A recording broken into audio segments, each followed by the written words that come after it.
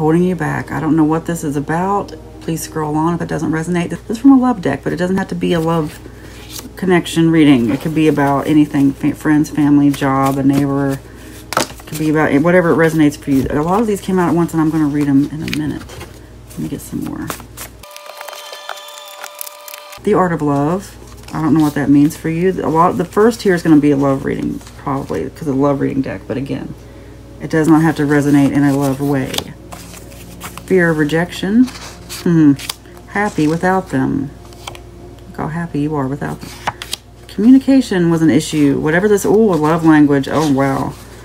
And it led to a dead end. I feel like whatever happened here, whatever kind of relationship it was, communication and a love language issue, like someone liked acts of service, someone else would rather have words of affirmation, that type of thing, led to kind of a dead end in the relationship. Someone wants to know is it over forever? They held back for reasons beyond their control. Take these as they resonate for you, but that's kind of confirmation with this holding you back. So I don't know how that resonates for you. Ask for what you want. I feel like you're afraid almost to ask for what you want because you think it's dreaming too high, or maybe you just can't even imagine it. But let's manifest that you will know the desires of your heart and that you will not be afraid to ask for exactly what you want, to not be afraid to dream big. You need to stop worrying. You're in your head too much. You're an earth angel. You practice self care every day and you are free.